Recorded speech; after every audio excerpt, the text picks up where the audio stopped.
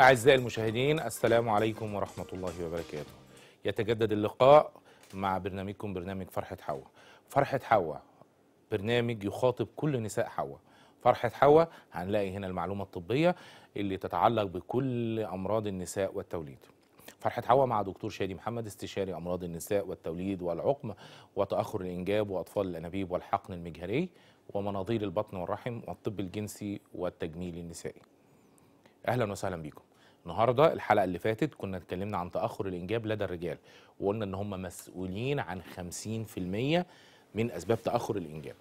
النهارده هنتكلم عن تأخر الإنجاب بالنسبة للنساء أو بالنسبة للإناث وهم مسؤولين عن 50% طب ليه إحنا دايما بنبتدي بالراجل؟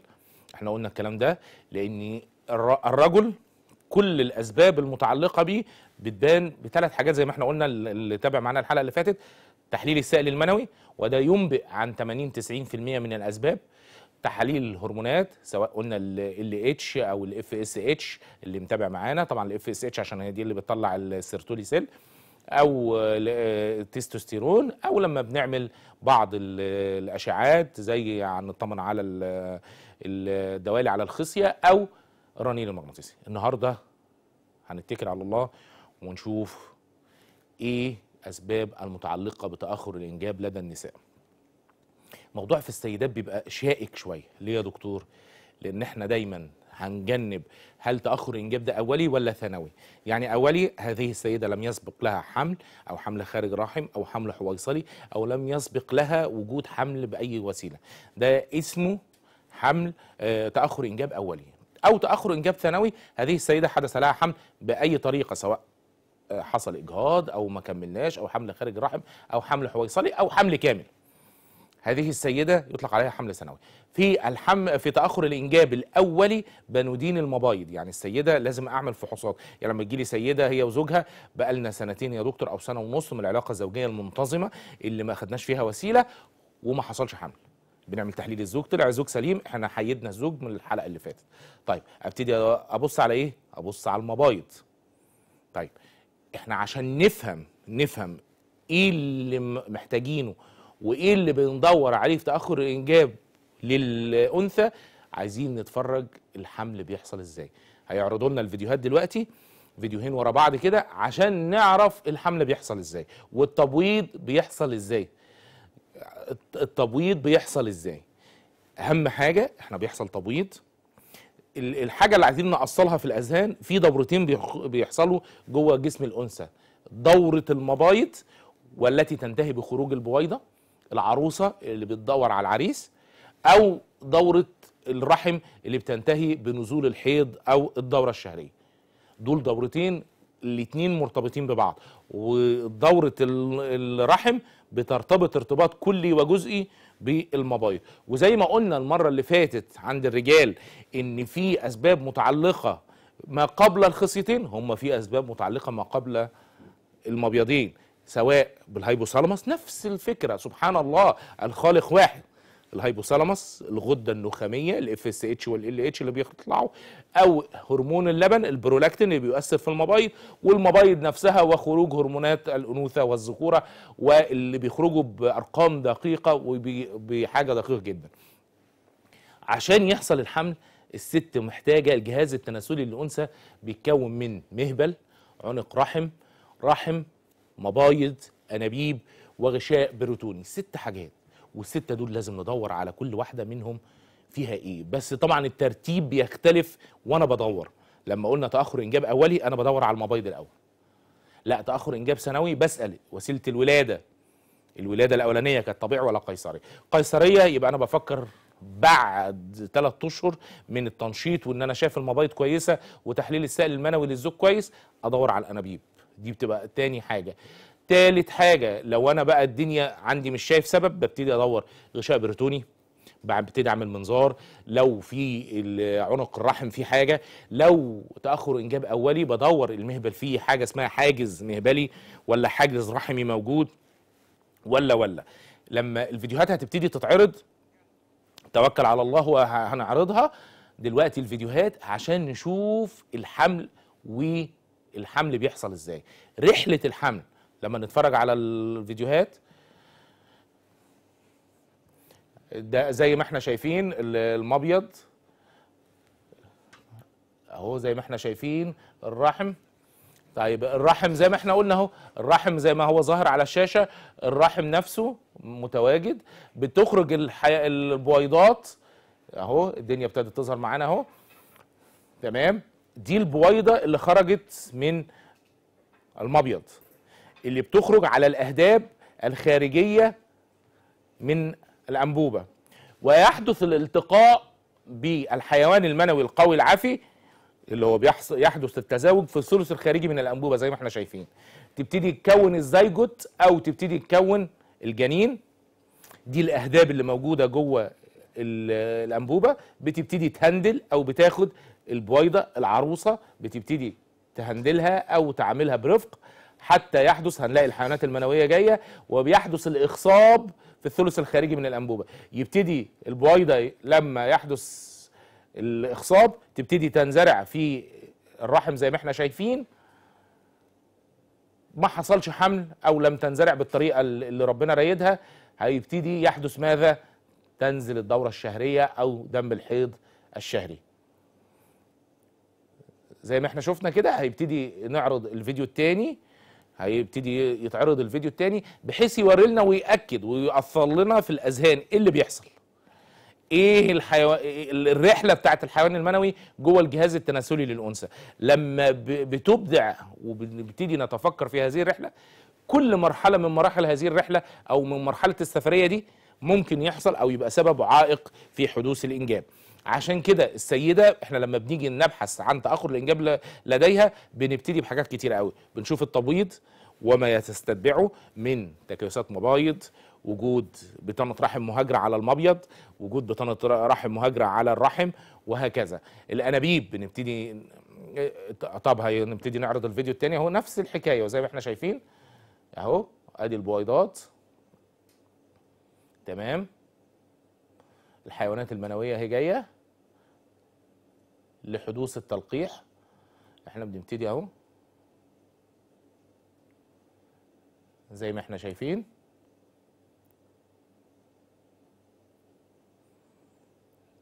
زي ما إحنا قلنا الحيوانات المنوية بتوضع في الجزء الخلفي من المهبل وعند حدوث ال ال يعني بعد العلاقة الزوجية البويضة أو العروسة بتبقى جاهزة للإخصاب من 18 ل 24 ساعة. يعني إيه يا دكتور؟ يعني التبويض عشان بس الفترة السيدات لما تيجي تتصل بيا طب أنا تبويضي من إمتى؟ لا التبويض دون مش فترة حضرتك. التبويض ده من 18 ل 24 ساعة فقط. والحيوان المنوي بيفضل زي ما إحنا شايفين أهو دي الغدة النخامية اللي اللي فوقيها الهايبوثالاموس كل ده بيتحكم في وظيفة المبيض. فعشان كده إحنا لما بنبتدي ندور بنبتدي ندور على الحاجات دي كلها. آدي خروج البويضة العروسة خارجة من المبيض بتبتدي تستقبل من الأهداب اللي موجودة في الأنبوبة حتى يحدث التلقيح في الثلث الخارجي من الأنبوبة. إحنا كده فهمنا. طب أنا لما كطبيب أنا بدور على إيه؟ قلنا تأخر إنجاب أولي باجي للسيدة وأقول لها هنتابع التبويض. إيه الاسباب المتعلقة بالمبايض ببتدي أشوف الهرمونات ببتدي أشوف خروج البويضات قد إيه حجم البويضات قد إيه. في تكيسات على المبايض ولا لا؟ وهنعمل لكم حلقة كاملة على تكيسات المبايض في بطانة رحم مهاجرة على المبيض ولا لا؟ اللي هي بتسمى الكيس الشوكولاتي. طبعا لا قدر الله اللي عنده الحاجات دي بيبقى فاهم اللي أنا بقوله. لقينا الدنيا سليمة. ثلاث أشهر لست شهور ما حصلش حمل من العلاقة الزوجية المنتظمة اللي أنا محدد الميعاد بتاعها عامل التايمنج زي ما إحنا قلنا البويضة من 18 ل 24 ساعة بتفضل صاحية في جسم الأنثى مستعدة للإخصاب وفي نفس الوقت الحيوانات المنوية اللي بيحصل لها نزول في مهبل الأنثى بتفضل عايشة 48 ساعة. طيب لا ده إحنا المبايض سليمة ببتدي أدور على الأنابيب. إيه الفحوصات اللي بعملها للأنابيب؟ بعمل فحصين مهمين جدا. يا إما اشعه بالصبغه يا إما منظار بطن.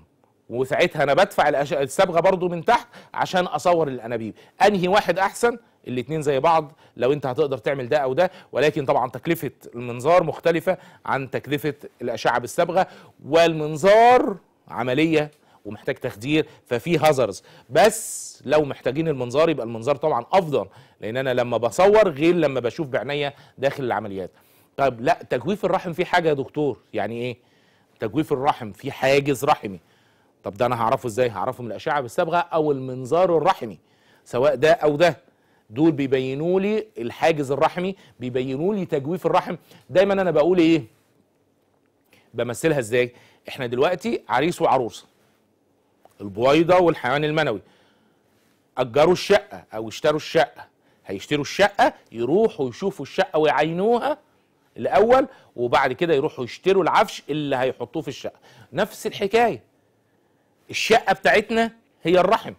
لازم أبتدي أشوف البيت اللي هيسكنه الجنين. عامل إزاي؟ ساعات البيت دون بيبقى فيه اختلال. يعني في حاجز رحمي في حاجة اسمها أشر مان سندروم في تليفات كتيرة من كتر القيصريات موجودة داخل تجويف الرحم. الحاجات دي بتبان بالأشعة الصبغه والأفضل منها المنظار الرحمي؟ طيب شفنا الرحم وطلع سليم شفنا الأنابيب وطلعت سليمة المبايض التبويض كان سليم. طب نبتدي أدور على عنق الرحم. ساعات بتحصل معانا إن عنق الرحم بنلاقيه ضيق جدا لدرجة إن هو ما بيعديش الحيوانات المنوية. في فايبروزس اللي هو تليف في عنق الرحم. في حاجز مهبلي زي الحاجز الرحمي فوق أثناء العلاقة الزوجية المهبل نفسه في حاجز فما بيستقبلش الحيوانات المنوية الداخلية. في بعض ده خلصنا كده الحاجات الجهاز التناسلي كل حاجة من دي بتاخد لها من شهرين لثلاثه للفحوصات. عشان كده السيدة ما بنقدرش ناخد القرار ونقول لها انت عندك كذا زي ما السيدات بتيجي هي وزوجها طب أنا سليمة كده؟ من أول كشف. طب إزاي حضرتك؟ حتى لو جايبه لي ورق قد كده. في فحوصات دايما هتبقى ناقصة لأن مفيش حد بيقدر يمشي المشوار كله للمجهود وللتكلفة. فاحنا بننصح دايما إن حضرتك بتختاري الطبيب اللي أنت تثقي فيه وبتفضلي معاه من ست شهور لسنة عشان يبتدي يشوف فحوصاته دي كلها. زي ما قلنا فخلاص إحنا خلصنا أبتدي أعمل منظار البطن زي ما إحنا قلنا مهم بيوريني التجويف البريتوني. ساعات بلاقي بطانة رحم مهاجرة متنطورة في جدار الرحم الخارجي أو متنطورة في ال- ال pelvis من تحت أو الحوض في الجدار الخلفي من الرحم الجدار الأمامي موجودة على المثانه كل دون يؤثر فسيولوجيا في تأخير الحمل. طب علاجه إيه؟ علاجه يا بين بندي بعض الجلسات لهذه السيدة أو بندي أو بنعمل كي لو هو من الدرجة الأولى أو الثانية زيرو أو واحد أو بندي بعض الجلسات المعينة اللي نقدر نبقى نتكلم عنها بالتفصيل بعد كده بتقلل بطانة الرحم المهاجرة وتزود تنشيط المبايض. كل دون بيساعد لنا. طيب ساعات بيح- بيحدث الاختلاف اللي هو إيه؟ أثناء العلاقة الزوجية بيحدث إنزال من الرجل وإنزال من المرأة. السائل الذي ينزل من هذه المرأة في بعض الأحيان يقتل الحيوانات المنوية لهذا الزوج. والدلالة على كده بالجزء الشعبي والمعروف بتاعنا يقول لك اتنين متجوزين خمس ست سنين عشر سنين مع بعض. ما حصلش خلفة خالص. الاتنين ما حصلش بينهم أي حمل. ولا قدر الله حدث الانفصال. وعند حدوث الانفصال تتزوج المرأة ويتزوج الرجل. الاتنين يحملوا من أول شهر. مرات الراجل لا تحمل والست هذه السيدة تحمل. إيه بقى اللي بيحصل؟ في حاجة اسمها anti-sperm antibodies هذه السيدة بتعتبر جسم السيدة بيعتبر الحيوانات المنوية دي كائن غريب وكائن يعني بتعتبره زي البكتيريا وزي الطفيليات لازم تهاجمه فبتكون أجسام مضادة ضد الحيوانات المنوية وبيبدأ قتل هذه الحيوانات المنوية. فلا يحدث حمل. فلا يحدث حمل. طيب الحاجات دي دي حاجة بنعرفها بحاجة اسمها post coital test وإن كان هذا التحليل ما بقاش متواجد في أغلب المعامل وفي نفس الوقت غالي. فإحنا بقينا بنستعيض عنه إن إحنا بنعمل التلقيح الصناعي. طب يا دكتور دكتور إيه هو بقى؟ أنا أتجنب كل ده طلع سليم. وطلع مفيش حاجة. في حاجة اسمها تأخر الإنجاب زي ما إحنا قلنا قبل كده غير مفسر الأسباب. الزوج سليم الزوجة عملنا لها كل الفحوصات سليمة عملنا تايمينج أو توقيت للعلاقة الزوجية بطريقة سليمة ولم يحدث حمل. ده بيندرج تحت تأخر الإنجاب الغير مفسر الأسباب وهي عشان إحنا عندنا القاعده الأساسية إحنا ممكن كل ده يطلع سليم وبرضه ربنا مش رايد. يعني عندنا القاعدة الأساسية يهب لمن يشاء إناثا ويهب لمن يشاء الذكور أو يزوجهم ذكرانا وإناثا ويجعل من يشاء عقيما. سبحان الله يعني إحنا في الآخر إحنا بنعمل. طب إحنا بنلجأ بقى لإيه؟ بنلجأ لوسائل الإخصاب المساعد. وسائل الإخصاب المساعد هم اتنين كبار قوي ما لهمش حل. يا إما آي آي اللي هو التلقيح ال- التلقيح الصناعي أو الحقن المجهري أو الح... أو أطفال الأنابيب بمشتقاته. طيب الاي أو اي أو التلقيح الصناعي. محتاج إيه؟ محتاج ثلاث حاجات يبقوا سلام. رحم سليم تبويض سليم أنابيب سليمة. دول بالنسبة للأنثى. طبعا بافتراض تام إن السائل المنوي عند الزوج سليم. طب لو في بقى أي سبب مختل من دول إحنا ممكن نلجأ للحقن المجهري أو أطفال الأنابيب. أطفال الأنابيب والحقن المجهري ما هم إلا مصطلحين لنفس ال... لنفس الحاجة. اللي بيختلف إن إيه؟ الحقن المجهري أنا بحقن الحيوانات المنوية تحت المجهر تحت المجهر. أما الأطفال الانابيب أنا باخد البويضات خارج جسم الأنثى وابتدي أسيب عليها السائل المنوي فيبتدي يلقح الحيوان المنوي البويضات اللي هو عايزها. طيب الطرق بتاعه ال- التلقيح الصناعي أو الحقن المجهري وأطفال الانابيب التلقيح الصناعي أنا يعني إيه الفرق بين الاثنين أنا بلقح داخل البويضات بتظ- بتظل داخل جسم الأنثى. يعني أنا بعمل تنشيط للأنثى بطريقة زي ما أنا بتابعها وابتدي آخد السائل المنوي أحطه عندي في الدفاية وآخد الحيوانات المنوية السليمة القوية وأبعتها لجسم الأنثى الكلام ده داخليا.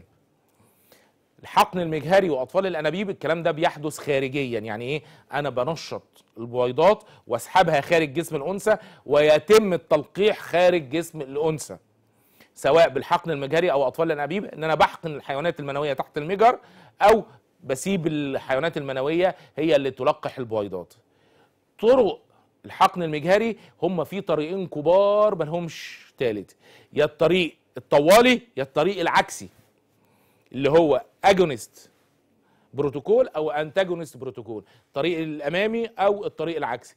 الطريق المباشر أو ال agonist protocol اللي هو بينقسم لطريقين كبار. يا إما short protocol يا إما long protocol يا إما الطريق الطوالي يا إما الطريق القصير. إيه الفارق بين ده كله وده كله؟ الطريق الطويل إن أنا بحيد إحنا قلنا زي ما إحنا قلنا ال- ال hypothalamus أو الغدة النخامية بيتحكموا في وظيفة المبيض. أنا ما بقدرش أسيب دون للظروف. فبدي حاجات في ال long protocol أو ال short protocol وفي حاجة اسمها في بعض الحاجات ultra short يعني ال- القصير قوي. ولكن لا يفضل. إحنا بنفضل دايما ال long protocol أو الطريق الطويل ولكن وال short protocol بس إحنا بنقول للأطباء الصغار دايما خلي بالك عشان ممكن يحدث زيادة استثارة للمبايض والسيدة تخش في حاجة اسمها ال hyperstimulation syndrome أو اللي يعني البويضات بتخرج بفرط فرط تنشيط ممكن يدخل السيدة في بعض المشكلات. ال long protocol أو ال short protocol الاثنين إلى حد ما بيمشوا بنفس الفكرة إن أنا بحيد الغدة النخامية بخرجها وإن كان ال long protocol أنا بنفضله لأن هو ده الطريقة ال standard. بنحيد الغدة النخامية بحاجه نديها إن إحنا نمنع خروج الغدة النخامية بحيث إن إحنا بنتحكم في المبيض خارجيا. ويبدأ التنشيط القوي للمبايض حتى يحدث حاجة اسمها ال triggering ألاقي حجم البويضات من 18 ل 23 22 أشوف عدد البويضات أكبر عدد من البويضات وأدي حاجة اسمها ال triggering أو التحفيز اللي هي LH اللي بتعمل ال second luteinization فأبتدي وأسحب البويضات خارجيا. بنسحب البويضات بعديها من 33 ل 36 38 ساعة مفيش مشكلة. خارج جسم الأنثى ويبدأ خطوات الحقن تحت المجهر. طب ال short protocol بنبتديه من أول أو تاني يوم الدورة بدي الحاجات اللي هي تمنع الغدة النخامية من إفرازها من إفراز ال- الهرمونات بتاعتها وابتدي أدي المنشطات وابتدي أسحب البويضات برضو خارج الجسم ويبتدي التلقيح. ده الطريق الطوالي المباشر في الطريق العكسي اللي هو الأنتاجونست بروتوكول إن إحنا بندي السيدة تنشيط. وبعديها اديها الحاجات اللي بتدي الغده النخاميه. ده بنفضله لأن ده استثارة دخول لا يحدث استثارة زيادة للتبويض. فبيبقى فيه control أعلى في الغدة النخامية ووظيفه المبيض. فما بيدخلش العيانة في حاجة اسمها hyperstimulation syndrome أقل كتير من ال long protocol. وبرضه بيحافظ على ال- ال long protocol بيحافظ على جودة البويضات دي إحنا ليه بنعمل ده وليه بنعمل ده وامتى دورنا وامتى دورنا؟ إمتى ألجأ للحقن المجهري؟ الحقن المجهري ليه يعني إمتى زوج وزوجة داخلين لي؟ العيادة من لأول وهلة. دول آخد قرار الحقن المجهري. لما أشوف تحليل السائل المنوي ألاقيه zero. نكرره في معمل تاني ألاقيه zero. هاخد عينة من الخصية ألاقي حيوانات منوية يبقى دي حقن مجهري. ده أول سبب واضح. أعمل أشعة بالصبغه أو منظار بطن ورحم ألاقي الانبوبتين مسدودين. يبقى دول سبب مباشر للحقن المجهري ال- الح- السائل المنوي ضعيف جدا. ألاقي ألف حيوان منوي ولا 2000 ده سبب مباشر. لما ألاقي الأندومتريوزس أو بطانة الرحم المهاجرة من الدرجة الثالثة أو الرابعة ده سبب مباشر للحقن المجاري. وإن كان أنا شخصيا بفضل إن في جل جلسات معينة بنديها قبليها من شهرين لثلاثه عشان السيدة الموضوع يبتدي يهدى بالنسبة لها ويحدث الحمل ويبقى بسهولة حدوث الحمل. إيه الأسباب التانية؟ إن أنا زوجين بقالهم سنة أو سنة ونص من العلاقة الزوجية المتكاملة ال unprotected الغير محمية يعني هم بيدوروا على حمل في السنة دول أو سنة ونص وما حصلش حمل. السيدة جايبة لي كل ال file بتاعها ومش شايف فيه حاجة سبب. سائل التحليل السائل المنوي للزوج هايل. طب أنا بقى هعمل إيه؟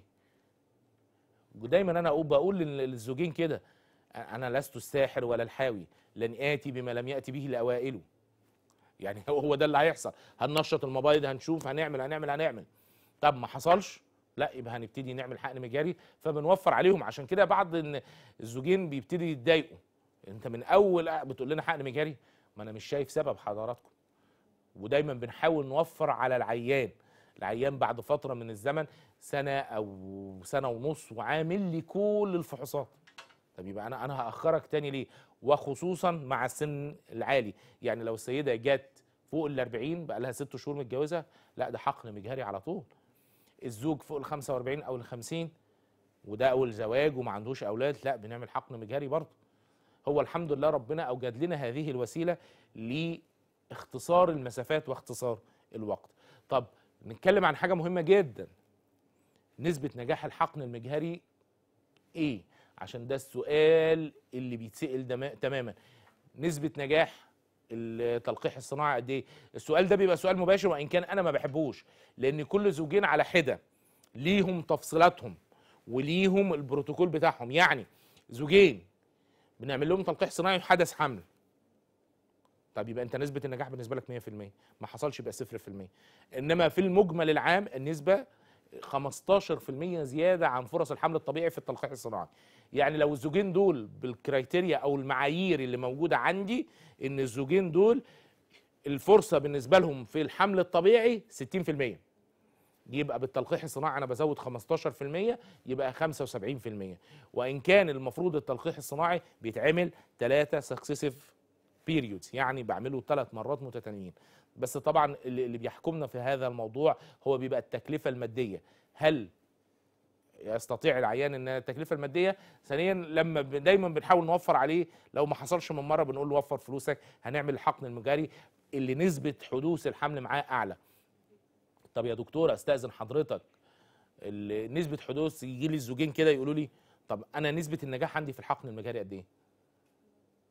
طبعا لو زوجين صغيرين التبويض سليم ما حصل آه، ما حصلش محاولة قبل كده. كل ده بيعلي فرص بتبقى بتوصل ل 60 ل 70% طب لا زوج وزوجة جم وعملوا لي ثلاث أربع مرات قبل كده حقن مجهري ولم يحدث حمل أو لم يحدث خروج بويضات أو خروج بويضات غير سوية أو غير سليمة. وده برضه ليه نوع من أنواع الجلسات اللي السيدة بتاخدها بتمشي عليها شهرين ثلاثة قبل الحقن المجاري وقبل الفرصة اللي بعديها إحنا بندي بعض الجلسات اللي من الأكسجين النشط بتبتدي تنشط الجسم وتنشط البويضات فتخرج بويضات سليمة وبتمنع بطانة الرحم المهاجرة. كل دون بيزود الفرص. طب الزوجين لقينا عملنا التلقيح ال- آه، زوجين جايين وما عملوش قبل كده حقن مجهري وسنهم صغير. بس هي عاملة البويضات بتاعتها مش سليمة. لا ده نسبه اللي لقينا حمل الأنثى سن السيدة فوق ال 40 كل دون بيسبب نقص آه، نجاح نسبة نجاح الحقن المجهري كان معاكم دكتور شادي هم قالوا لنا إن إحنا خلصنا كده. معاكم دكتور شادي محمد استشاري أمراض النساء والتوليد وتأخر الإنجاب. على وعد بلقاء إذا كان في العمر بقية. انتظرونا الحلقة القادمة في موضوع بيهم كل السيدات تكيسات المبايض. شكرا. السلام عليكم ورحمة الله وبركاته.